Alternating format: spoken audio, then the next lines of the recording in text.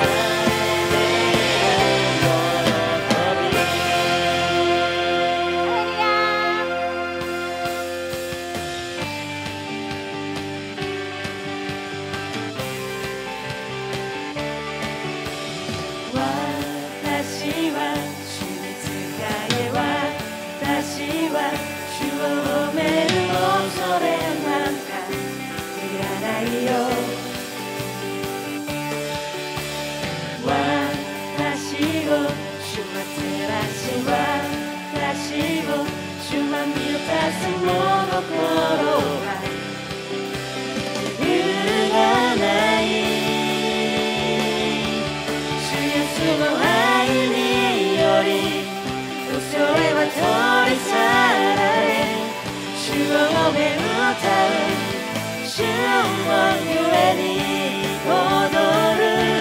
主イエスの愛により暗闇は消え去りとこしやも主の愛にとどまる。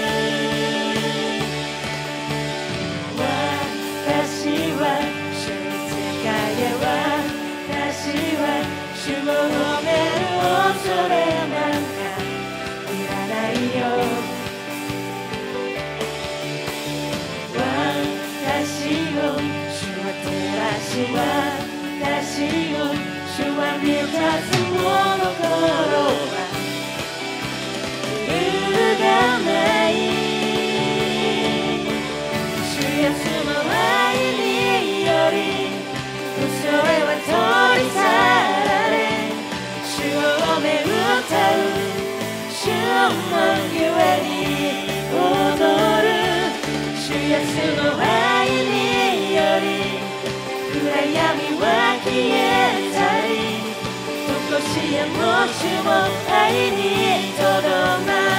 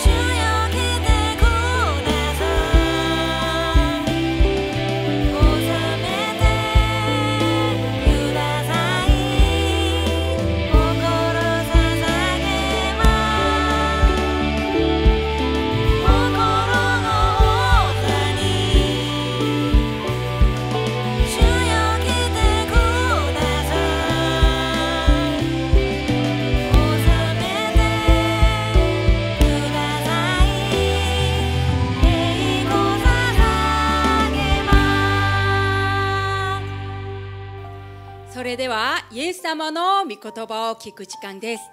準備はできてますか？ハレルヤで先生を迎えましょう。せーの。ハレルヤハレルヤー。皆さん1週間元気に過ごせましたか？会えて嬉しいです。さあ皆さん新しい年を迎えてどのように過ごしていますか？お外は寒いけど今日も元気に礼拝を捧げていきましょうね。それでは今日の御言葉を読んでいきましょう今日の御言葉はマタイの福音書15章28節マタイの福音書15章28節の御言葉です。その時イエスは彼女に答えられた。女の方、あなたの信仰は立派です。あなたが願う通りになるように。彼女の娘はすぐに癒された。アーメン。今日の御言葉のお話をよく表している絵があるので紹介するね。この絵は昔ピーテル・ラストマンという人が描いたイエスとカナンの女という絵なんだ。真ん中にイエス様、右の方に女の人がいるね。女の人の方をもっとよく見てみようか。この女性はカナン人の女性でした。実はこの女性はお母さんでね、娘がいるんだけど悪霊に取りつかれていたんだ。それでイエス様に「どうか助けてください」ってお願いしているところなんだよ。あんまり叫んでついてくるから弟子たちは「どうにかしてください」って言うんだけどイエス様は無視。それはこの女の人がイスラエル人じゃなくてカナン人だったから。神様の計画では先にイスラエル人が救われるようになっていたんだでもこのカナン人の女性は無視されてもどうかどうか助けてほしいってひざまずいてお願いをしてイエス様のことを追いかけたんだするとイエス様はこんなことを言ったの。子供たちにあげるパンを子犬に投げてやるのは良くないことですって。どういう意味だろう。ほら絵をよく見てごらん。この絵には子供たちと犬が描かれているの。見つけられたかな。この意味はね子供たちはイスラエル人。その他の外国人は犬っていう意味なんだ。犬である外国人にはパンである救い御言葉はあげられないって言ったの。みんな自分が犬って言われたらどう？悲しくなったり怒ったりするんじゃないかな。でもこのカナン人のお母さんは違ったんだ。犬みたいな存在でもテーブルから落ちてくるパンくずを食べるようにどうかおこぼれをください。それを期待しますって言ったのこれを聞いたイエス様はこう言いました。あなたの信仰は立派です。あなたが願う通りになるように。そしてカナン人のお母さんの娘はすっかり癒されたんだ。よかったね。さあ皆さん今日はイエス様からあなたの信仰は立派ですって褒められたカナン人のお母さんのお話だったね。みんなも先生もあなたの信仰は立派ですなんてイエス様に褒められたいよね。じゃあどうしたら褒められるのかな。今日のカナン人のお母さんの信仰ってどこが立派だったのかな。それはねまず第一にこのお母さんは切なる思いを持っていたってこと。自分の息子を娘をどうか助けてください。そのためには私なんかどうになってもいいんですっていう心だったのね。だからイエス様から犬って言われても無視されてもちっとも起こらなかったの。誰かのために自分を犠牲にするそのような切なる愛の心を持っていたんだね。そして2つ目。このお母さんはイエス様に信頼していたんだ。イエス様だったら絶対に娘の病気を癒してくださるってもう信じきっていたの。イエス様は神様の御子なんだ。こういう確信信仰があったんだね。そして3つ目。このお母さんは謙遜でした。謙遜ってちょっと難しい言葉だよね。謙遜っていうのはね自分が低くなるっていう意味なんだ。このお母さんはイエス様に対してえばったりしてたかな？偉そうになんてしてないよね。低くなってイエス様のところにひざまずいてどうかどうかお願いします。私のようなものに憐れんでくださいってそのような謙遜な姿だったっていうことです。皆さんこの3つのお母さんの姿。これがイエス様の言うあなたの信仰は立派ですっていう意味なんだ。私たちもイエス様にあなたの信仰は立派ですって言われたいね。イエス様はこのお母さんに信仰のテストをしたんだね。私たちもいつかイエス様から信仰のテストをされる時があると思うんだ。その時にこのカナン人のお母さんのことを思い出してテストに合格したいね。だから今日のカナン人のお母さんのことをよーく覚えていてください。これが信仰のテストに合格する秘訣です。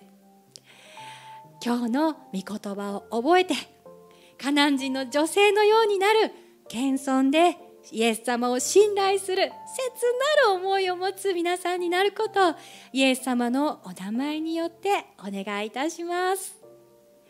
それでは今日の御言葉を思い出しながら一緒にお祈りをしましょう。お祈りのポーズいいですか？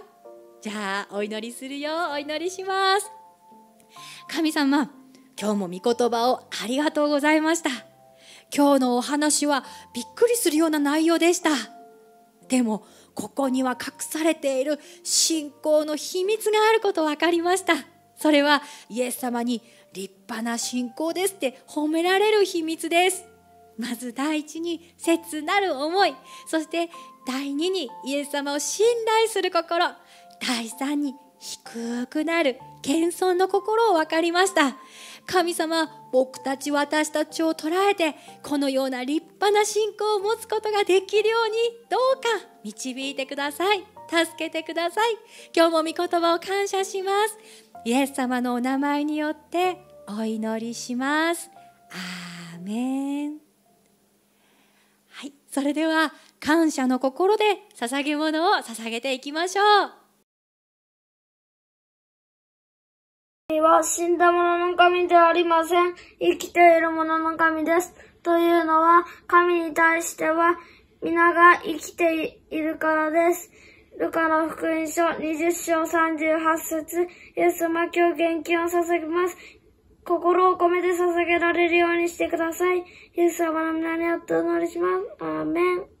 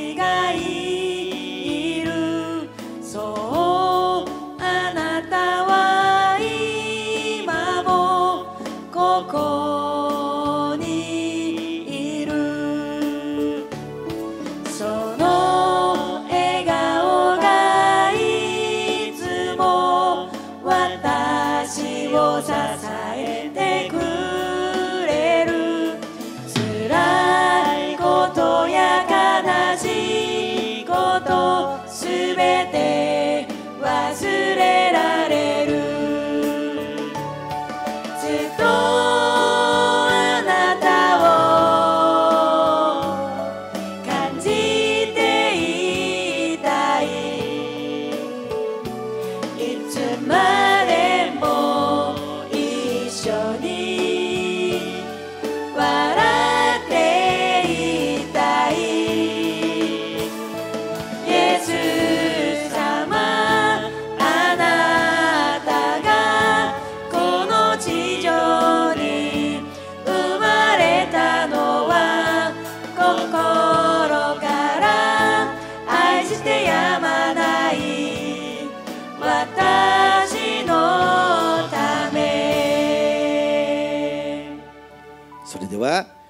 祝福のお祈りをします。